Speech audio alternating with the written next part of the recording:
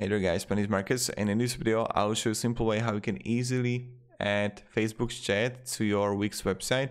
So the first thing you want to do is just scroll down below to the description and click on the link. When you will do it, you'll get on this site called Elfsight. Elfsight is an amazing company with a lot of widgets and one of the widgets what they make is Facebook chat. So let's click sign up for free. Now we want to sign with the Gmail, Facebook, normal mail. is up to you. And when you got it, click login. Right here in applications, in search, you just want to write Facebook. And you're going to see right here, Facebook chat. So let's create a widget. And now you can choose between the templates that you have. I will recommend going with the channel.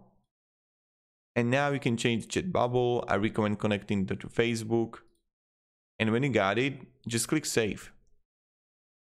Right after you click save, you need to choose a plan. If you're starting out with your website, go with the light version.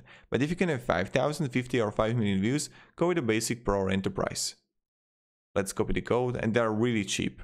Or you can go like monthly or annually. When you're going to be in Wix, you want to simply click add, empt, empt a widget. And right here, just make it a little bit bigger, enter the code and paste the code. Update.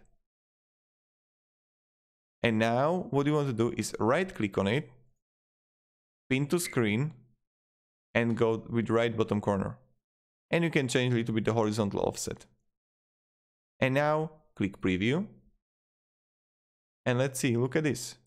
So what we need to do is back to editor, make it bigger, preview.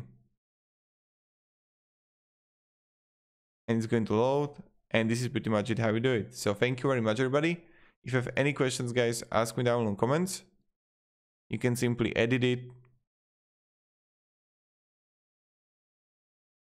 Bubble icon, bubble text. And yeah. So thank you very much, everybody. Have a great day and goodbye. See ya.